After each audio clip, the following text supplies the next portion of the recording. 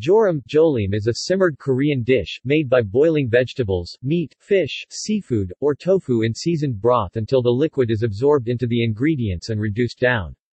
Jorim dishes are usually soy sauce based, but gochujang chili paste or gochutgaru, chili powder can also be added, especially when fishier, red-fleshed fish such as mackerel, saury, or hairtail are used. In Korean royal court cuisine, jorim is called jorini. Etymology Jorim is a verbal noun derived from the Korean verb joride, to boil down.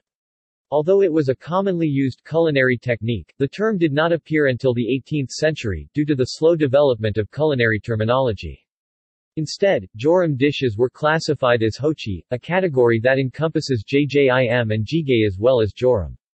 The first mention of the verbal noun jorim as a food category appeared in Siuijeonseo, a 19th-century cookbook, in describing jang jorim soy sauce simmered beef methods. Varieties. Dubu jorim dubu holim simmered tofu. Galchi jorim galchiolim simmered largehead hairtail Gamja jorim gamjajolim simmered potatoes. Godiangio godianggioyolim simmered chub mackerel and radish. Jangjorim jangjolim simmered soy sauce simmered beef.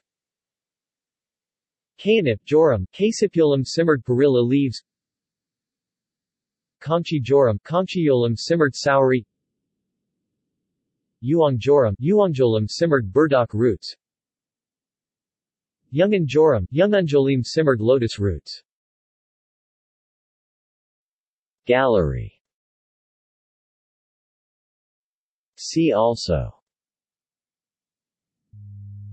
Braising JJIM Co. References